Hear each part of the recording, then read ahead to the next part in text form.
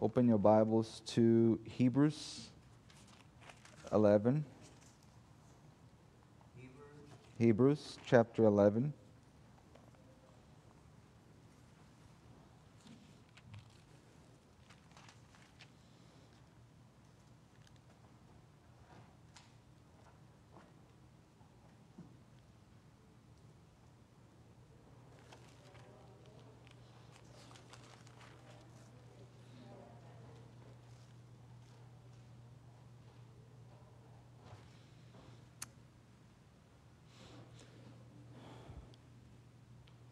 Let's pray. Lord, thank you for this morning. I pray that you help us uh, to learn from your word, to uh, apply the principles in our lives, and that your name would be glorified. In Jesus' name, amen.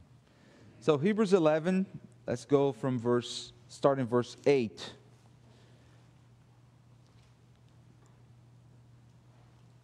By faith, Abraham obeyed when he was called to go out to a place that he was to receive as an inheritance. And he went out not knowing where he was going. By faith, he went to live in the land of promise, as in a foreign land, living in tents with Isaac and Jacob, heirs with him of the same promise. For he was looking forward to the city that has foundations, whose designer and builder, and builder is uh, God. Amen. So, we, we see here that Abram in Genesis 12, and you can go to Genesis 12 as I speak, and Abram received um, a promise. And we started talking about the covenant of works. And in the covenant of works, last week we talked about the imperative leading to the indicative, right? It's like the grammar of the covenant. So, don't do this and you will live. That's what God said to Adam and Eve. Don't eat from the fruit and you will live. Now, in the covenant of grace, God does in a different way. God first gives the indicative, and then the imperative will follow. So, I will give you this land. I, I will give you the promise. I'm making a covenant with you. That's why you obey. So Abram is obeying the Lord not to receive the promise. He's obeying the Lord because he had already received the promise. So the promise is not something that Abram will achieve. He already has that promise. So he's Walking in faith is believing in the promise of God. So, in that sense, the covenant of work, right? Covenant of work and the covenant of grace, they are different.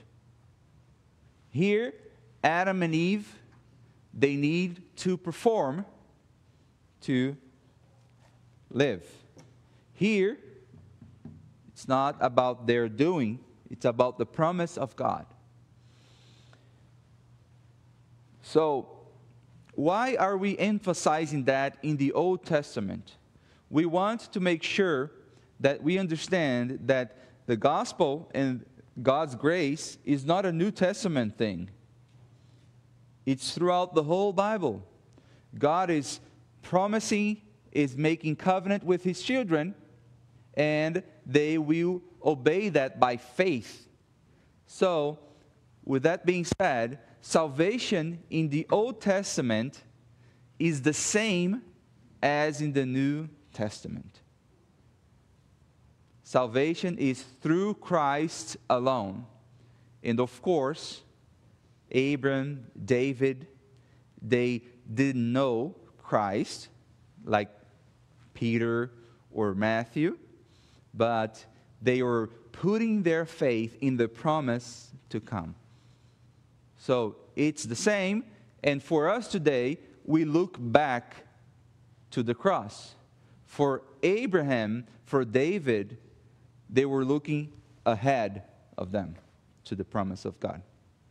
Okay? Is there anything that from last week that you would like to comment or ask a question? Do you even remember what we talked?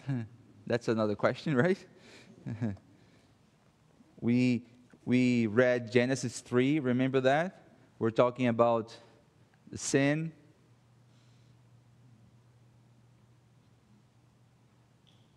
What else we talked about?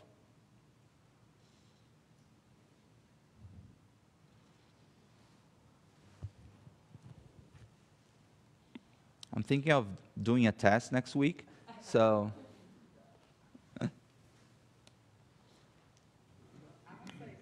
Uh-huh. Talked about the covenant before the fall and after the fall. You talked about,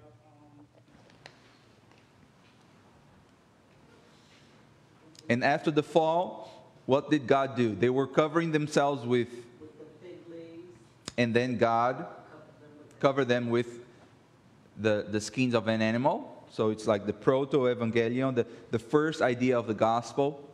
There we have an animal was sacrificed to cover someone else's sin. Uh, yes? Speak up, please. What, what were the imperatives in uh, the, co- uh, the covenant of work? Yes. The imperative on the covenant of works that God did with Adam and Eve is don't eat from this tree.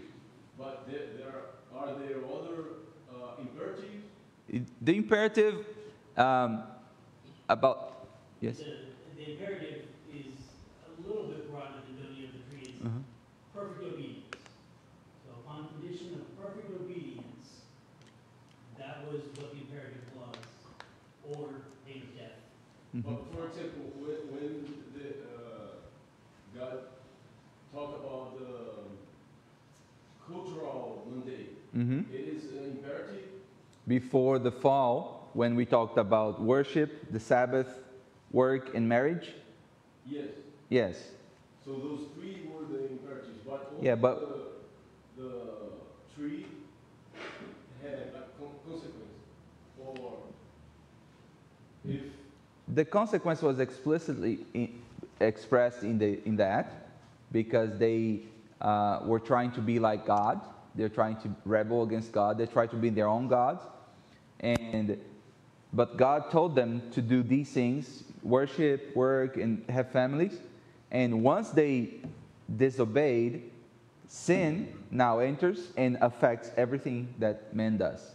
So, in a sense, the gospel is bringing us back to the reality uh, of the, the way that God created the world, but sin is making these connections. So we are to obey God because He saved us, He gives us the covenant, and we are to obey God not only in our worship or our spiritual area, but in worship, work, in family, in everything that we do. So that's what the gospel is taking us back to. And that's why we, we're going to live in new heavens and new earth. And the, this word from the scripture is not a brand new, that God will create a brand new heavens and earth. It's a renewed heaven and earth. So God will change. He will, the consummation will do that. So we will be back in the state that God created us to be. In that sense. So looking at Genesis um, 12, and we are go- we're trying today to answer a few questions. Is it one covenant that God has with Abraham or two? Is it unilateral or bilateral?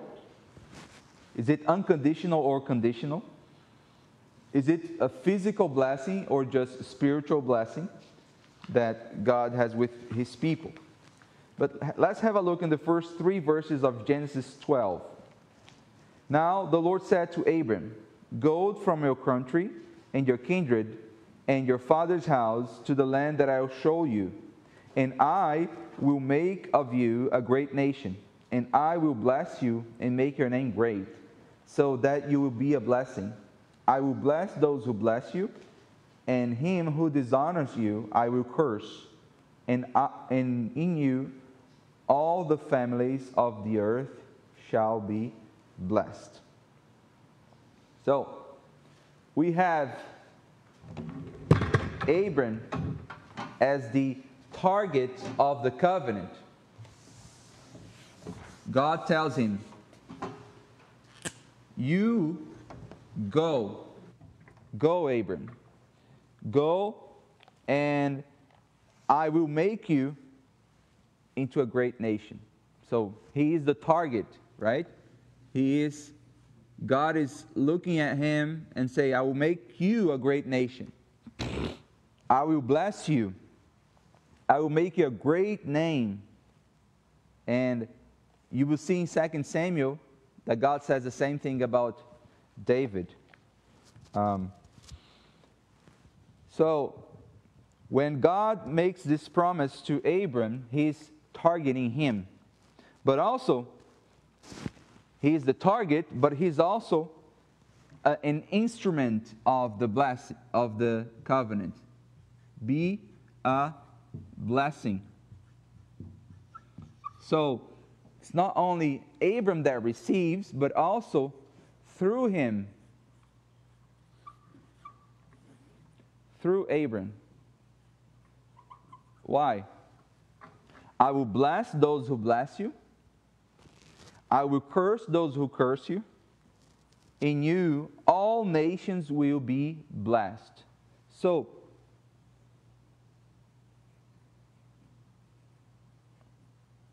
God is already expressing his love, covenantal love for the world.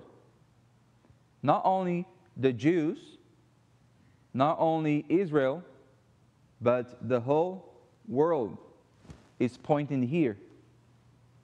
So God wants to bless you individually, He does. But He does not want to bless you to stay there. He wants to bless you in order that you would be a blessing to others. And then in doing that, the name of God will be glorified.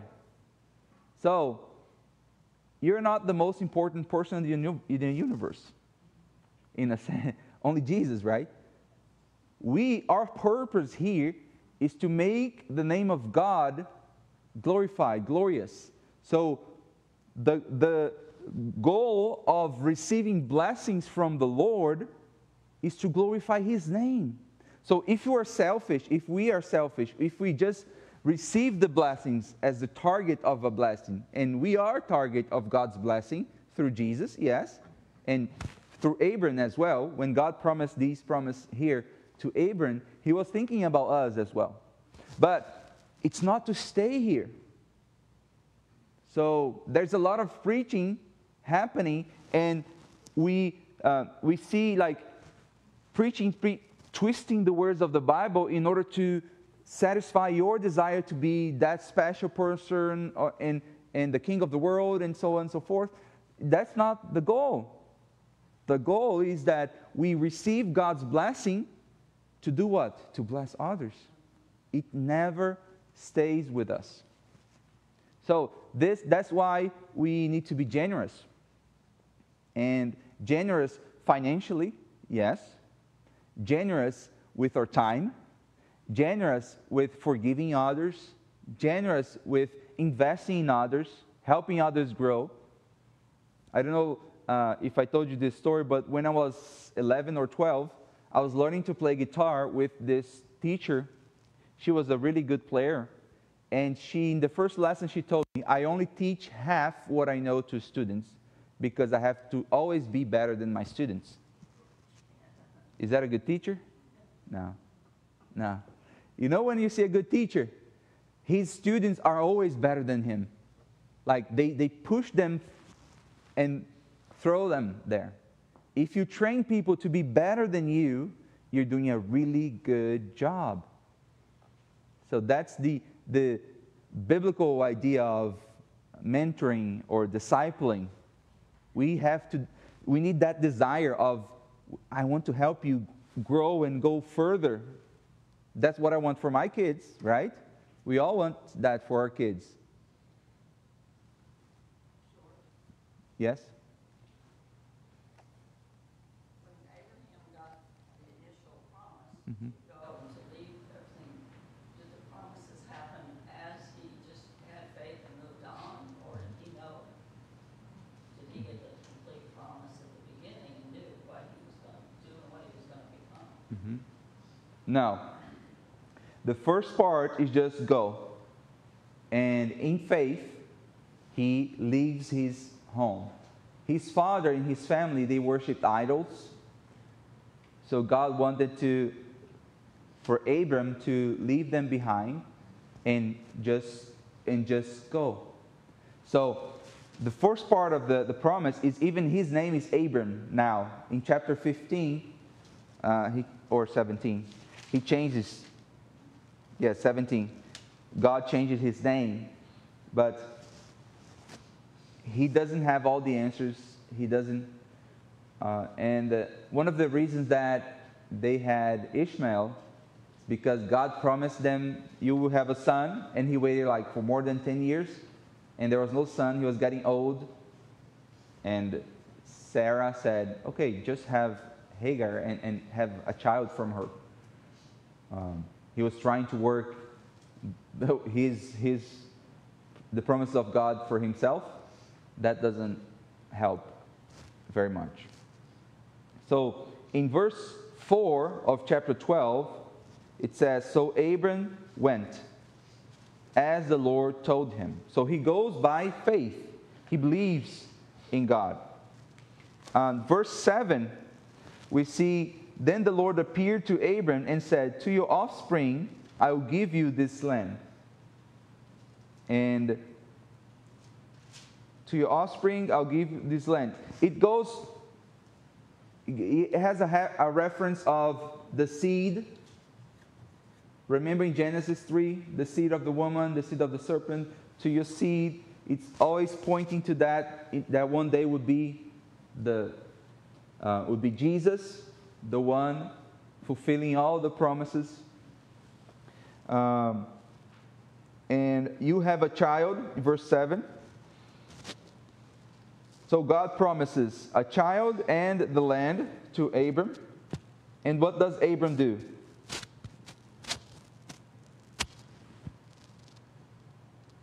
So he built there, verse 7.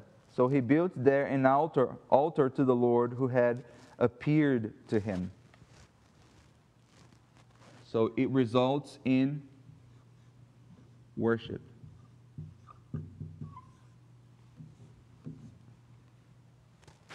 They receive, Abram receives the promise of the Lord. He obeys. God uh, promises that he will have a child in the land. And what does he do? Worship. Um, we won't have time to go uh, a lot in chapter 13, but it's talking about his nephew, Lot. And he, he gave, uh, they were growing in the, the animals and riches, and they had to separate. So Abram gives Lot the decision. So you choose. And Lot goes where? Goes to the side of Sodom. He goes to the side where um, it's. Isn't that a great analogy about our free will? When we get to choose because of our nature, we will always have this tendency of choosing what's against our own nature, uh, about sin. And um, free will in that sense of being totally uh, no biased or having no uh, format to choose is, is not, it's only happened to Adam For us, we always choose based on sin. If we're let, it doesn't mean that we don't have volition. We choose to do things, but there's always that uh, tendency to do that. So the gospel, when we believe in God and we, we have faith in God, what God does in us is He gives us the ability to goes against, go against that, but not completely yet. We're, we still live in the fallen nature. We still have that. But one day, we will not have that anymore. So, um, God reiterates the promise to Abram in chapter 13. And what is his response? The Lord, verse 14, chapter 13, verse 14. The Lord said to Abram, after Lot had separated from him, Lift up your eyes and look from the place where you are, northward and southward and eastward and westward. For the land that you see, I will give to you and your offspring forever. I'll make your offspring as the dust of the earth, so that if uh, one can count the dust of the earth, your offspring also can be counted. Have you ever tried cu- counting your, like sand? It's impossible. Arise, walk through the length and the breadth of the land, for I will give it to you. And what does he do? He moved his tent and came and settled, and there he built an altar to the Lord. The result again is worship. Every time that God uh, gives the promise to Abram and reminds him of the promise, what does he do? He worships. He worships. What do we do every Sunday? We are reminded of God's covenant in Christ. And what do we respond? We respond in worship. We come here, we remember that He was dead for our sins, but not only that, but that He was uh, risen. So we celebrate that and we worship the Lord for that.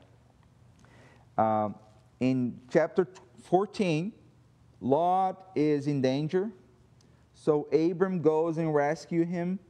But the end, in the end of chapter 14, you see that it's a miracle the way that he, he goes with 318 people, Abram. It's again, um, if you remember the, the sermons on Joshua, it's again showing in this text that the battle and victory belongs to the Lord, right? How does he de- defeat these kings? Because the Lord is the one who wins your battles. And um, from verses 17, chapter 14, he returned from the defeat and he meets Melchizedek. Verses 19, and he blessed him. Blessed be Abram by God Most High possessor of heaven and earth, and blessed be God Most High, who has delivered your enemies into your hand. God was the one who delivered Abram and the enemies. And what does Abram do? He gives an offering. First time, there was no rule in Israel to do that, like we see in Malachi 3:10. There was no rule there. But Abram gives a tenth of everything he has because it's an act of worship. Here. And the king of Sodom said to Abram, Give me the persons and take the goods for yourself. Abram emphatically says, I don't want anything from you. You know, it's like Abram is saying, You're not going on my CV. You know, you're not, you, I don't want anything from you. I don't want you saying, Oh, I, I made Abraham, Abram rich. I, no, it was the Lord. And he says in verse 24, I'll take nothing but what the young men have eaten, and the share of the man who went with me. Let other people have their share. I don't want anything. So this is the, the framework before ver, uh, chapter 15. And in this narrative, you see that God is promising Abram a land. He leaves the country, and then God reminds him the, the promise, and he worships. And then God re- reminds him the covenant and he worships. So, if Abram, which he would become Abraham, is known as the father of the faith, he needed to be reminded of the covenant so much. What do you think about us? Right? We need to have that in mind all the time. That's why uh, when, when we preach, we say we need to be reminded of the gospel. We need to be reminded what God did for us because we're so forgetful. It's so easy to forget. The first thing that, the first trial that we have in front of us, we murmur or we lose heart, or it's so easy to do that. We complain. Well, the Lord did everything for you, and He helped you, and He saved you, and everything. And then it's so easy to, to lose sight of that. So God knows us. And in the Word, we see that Abram, even though he was the father of the faith, he was a man that was born in sin and needed God's grace. So he needed to be reminded of the promise. And then we got to chapter 15. In, in chapter 15, we see here the covenant was finally formalized. The covenant and the one of the, the main themes that Paul brings a lot in Romans, in Galatians, um, it's what? In verse 6, what's that theme?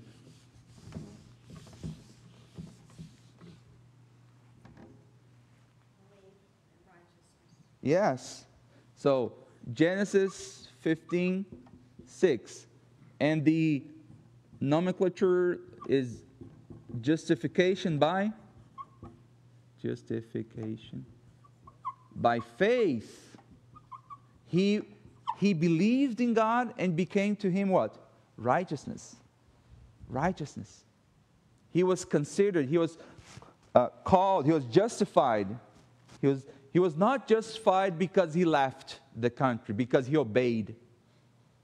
He was able to obey God because, because God promised him, because, because God gave the covenant. So he believed in God, and that faith was the very thing that justified him. So, from verses 1 to 6, we see the, the promise, the questions. He questions God.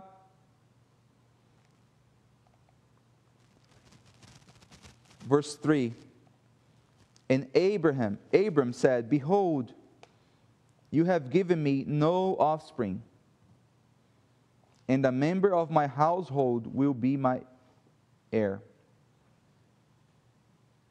Can you believe that? Abram said that. You, God, you gave me no. It, it just, it's an echo from Genesis 3. It was the woman that you gave me. Right? You said that it was not good for me to be alone. And now the woman that you gave me did that. She ate from the fruit.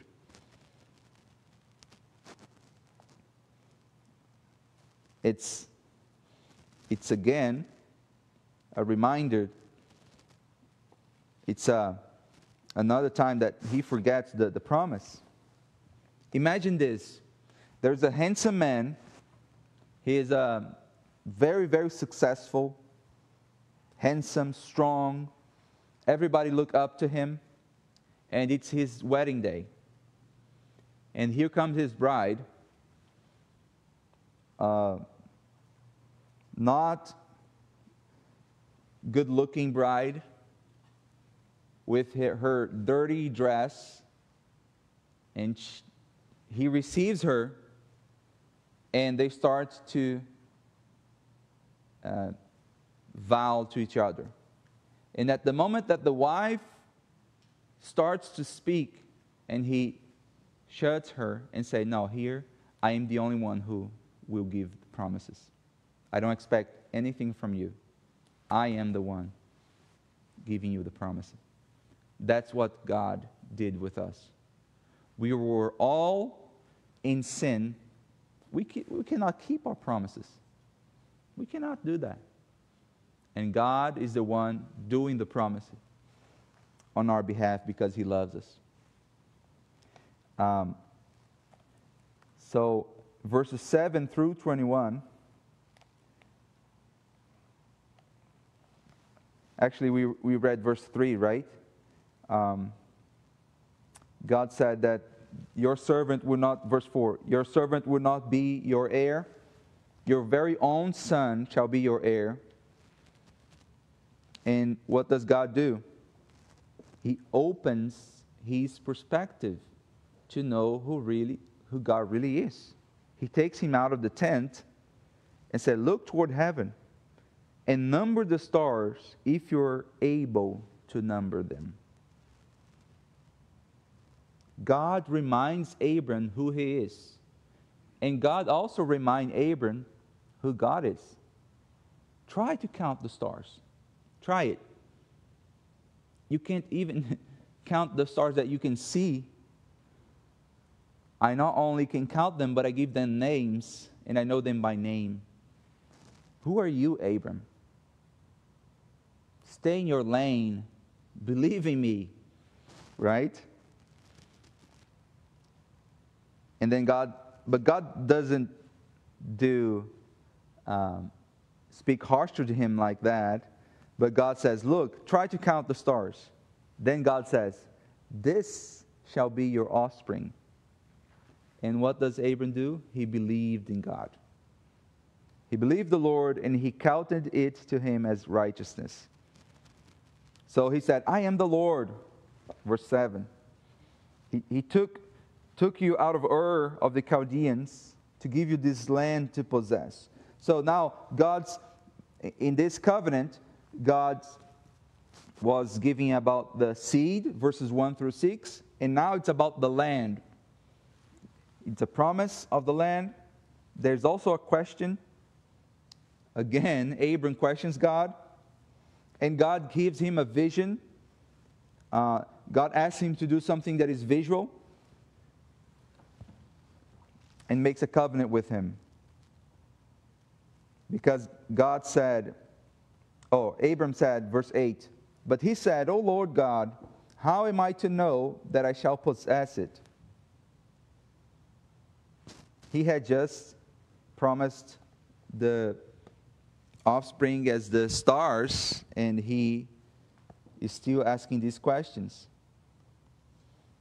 He said to him, Bring me a heifer three years old, female goat three years old, and a ram and he brought to him all these and cut in half. He did not cut the birds in half. The sun was going down. Then the Lord said, Know for certain that your offspring will be sojourners in a land that's not theirs. He's talking about um, Israel in Egypt for 400 years. But I will bring judgment on the nation. Verse 15 As for you, you shall go to your fathers in peace and they shall come back here in the fourth generation. Um, verse 17 When the sun had gone down and it was dark, behold, a smoking fire pot and a flaming torch passed between the, these pieces. So, God, the illustration I gave about the, the groom and the bride, God was the only one promising here in this covenant. It was customary for them to cut animals in half, and both of the, the, the parties in the um, pact, in the covenant, would pass through the animals as, as saying that, may this happen to us if I don't keep my word. But in this case, Abram does not walk with God. It's only God, only the fire of God. And God is saying, I am keeping my word. So these are the, the, the formalization of the, the covenant of God. Then we have Hagar, chapter 16. Um, they try to work the promises of God. Um, let's not judge Abram a lot. I know it, like more than, I think 10 years was passed here. They were just getting old and older. So they're trying to do their own way. So they did that, um, even though it's, it was not the, what the Lord um, told them to do. And it's, it's a chapter of showing that's a, fa- a failure, their failure. But that Sarah, Sarah dealt, dealt with Hagar because she was mocking Sarah. She was dealing with her harshly. And it's the same expression that we have in Exodus for the way that Pharaoh was dealing with the Israelites harshly. They were putting them to work more to build the, the tiles, and they were working and, and, and making them suffer harshly. But when we get to chapter 17, we have the confirmation of the covenant. So, the sign of the covenant is what God asks. It's not, it's not a different covenant, it's not two covenants, it's the same covenant. But God is asking for a sign to Abraham. Um, in, in Romans, let's go to Romans 4, verse 11.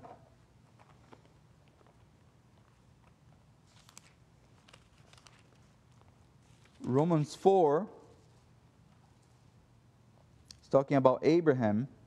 Verse 11 said, He received the sign of circumcision as a seal of the righteousness that he had by faith while he was still uncircumcised. The purpose was to make him the father of all who believe without being circumcised, so that the righteousness would be counted to them as well. So, circumcision here is not what saved Abram. It's not uh, uh, a means that would bring him a, a, a way of a place of righteousness before God, but it is a sign. And remember, the word covenant means to cut.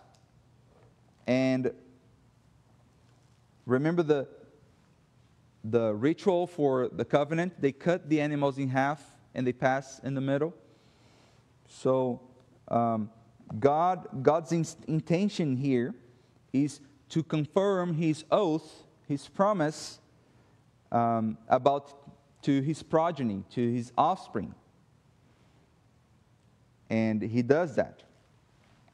He asks Abraham, he changes his name, and he asked Abraham to do the sign of the covenant. Verse 5 No longer, 17, verse 5, no longer shall your name be called Abram but your name shall be Abraham, for I have made you the father of a multitude of nations. I'll make you exceedingly fruitful, and I'll make you into nations, and kings shall come from you. And I will establish my covenant between you, me and you, and your offspring after throughout their generations from an everlasting covenant, to be God to you and to your offspring after you so it's not a covenant to say, I'm part of this group. This covenant saying, I am your God and you are mine. That's the sign that they're doing. And they cut the male organ, and in that, in that time, the male of the family would also cover for the female of the, the family. So that, that why there's no need for women to do that. So the man would represent the, his household, his family. This sign was for him and for his family. We see that constantly in the scriptures. The sign is for you and your household, for you and your households. It's, it's interesting to see that in the New Testament, when, when um, people we have the stories of people being converted, there's only one case that the individual is baptized, but not the family, is the eunuch in Acts 8. The, an eunuch, it has no family, right? But the rest, you see the centurion, you see the guard in the priest, like everybody's to you and your household, to you and your household. So God's intention is to, to have this sign of the covenant to, um, as a response that you b- put your faith in Him.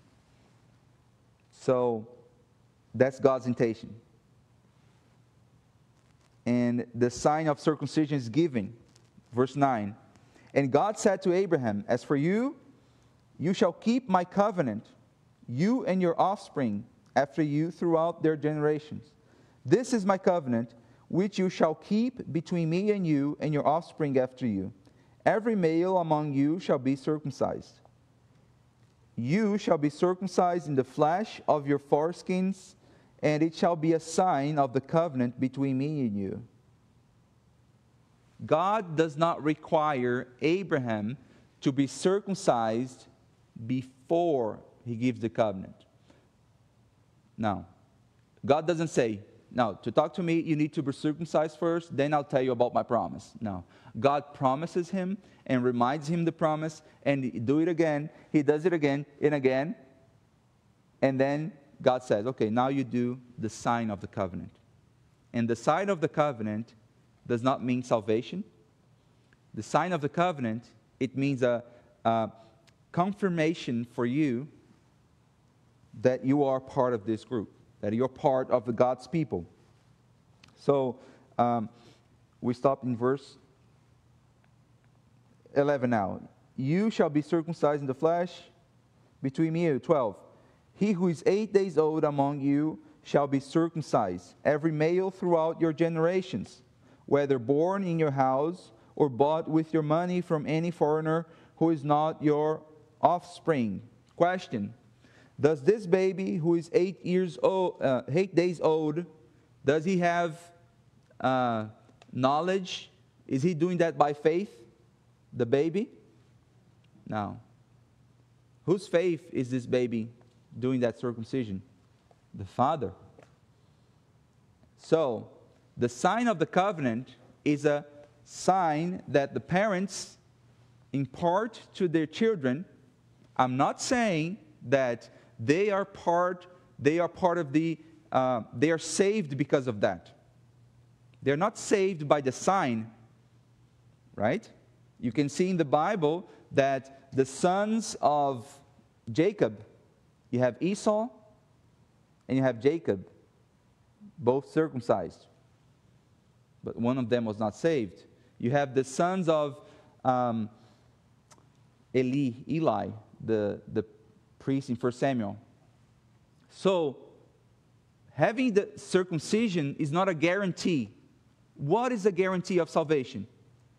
Faith. In this case of the Old Testament, faith in the promises of God, in that God would send someone.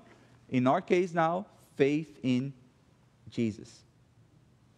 And you, I hope you notice that I'm bringing this, this topic of circumcision, but it also tends to baptism in the New Testament. Um, we will have a, another class about that, specifically about infant baptism.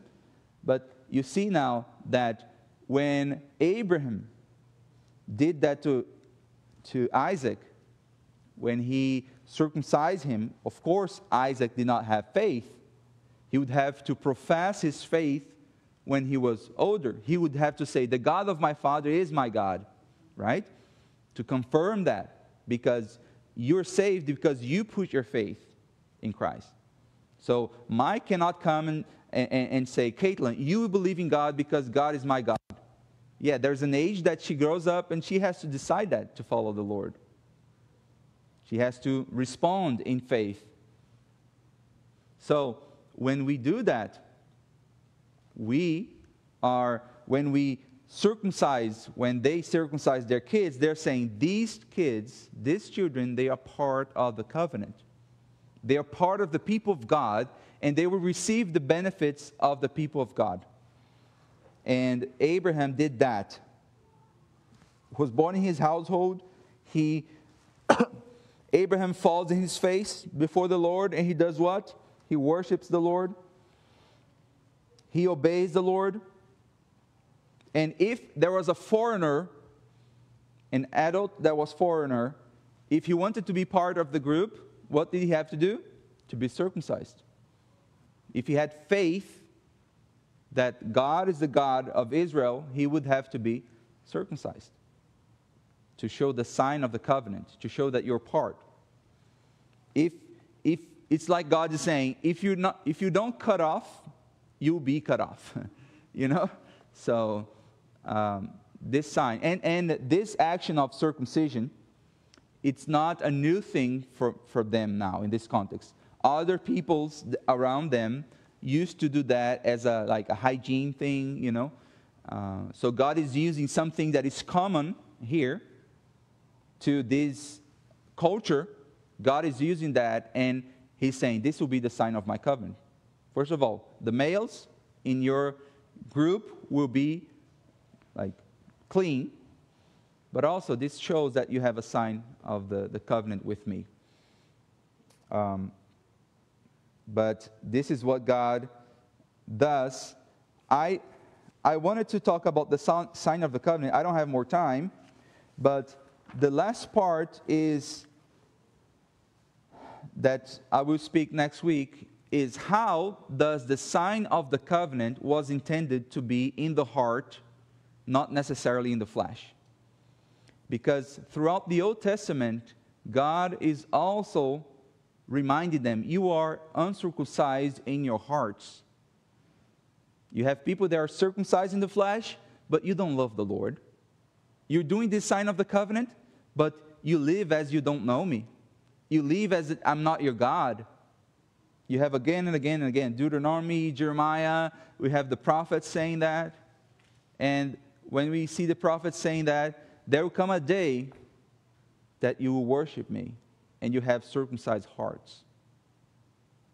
So, this is, this is more important than the sign itself. Because if we have the sign of the covenant, but we don't circumcise our hearts before the Lord, why? Why do it? It's, it's the same like coming to church and saying that you're a Christian, but you don't believe in God. Your actions or your, your lifestyle, you don't, you don't honor the Lord. You don't love Him. You don't have relationship with the Lord. You just do these weekly thing, you know, you check a box. Oh, I did this, I did this. That's not God's intention. So you love the Lord with your all your mind, all your heart, all your soul, and you do that because you love him. So I want to focus on that next time.